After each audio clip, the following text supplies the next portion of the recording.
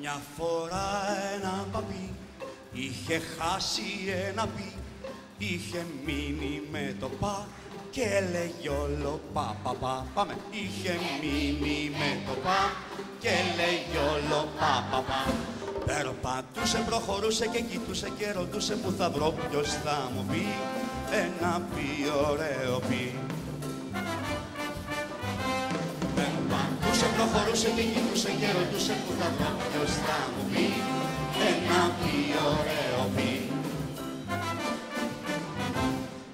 Έψαξε σ' όλα τα μέρη, βρήκε πει από πιπέρι, βρήκε πει από πιπίλα και το έπιασε τσαντίλα. Βρήκε πει από πιπίλα και το έπιασε τσαντίλα. Περπατούσε, προχωρούσε και κοιτούσε και ρωτούσε που θα βρω ποιος θα μου πει ένα πει ωραίο πει. Περπατούσε, προχωρούσε και κοιτούσε και ρωτούσε που θα βρω ποιος θα μου πει ένα πει ωραίο πει. Βρήκε πει από πυρούνι, βρήκε πει από πιτσούνι, βρήκε πει από πινέζα και το πάτησε και τέζα. Βρήκε πει από πινέζα και το πάτησε και τέζα.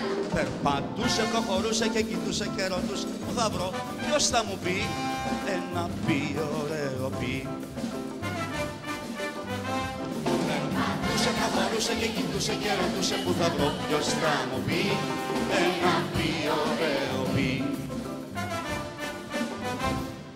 Τέλος φόρεσε ένα νι, ένα νι από πανί κι ήταν πια χωρίς το πι, ένα πάνινο παπί.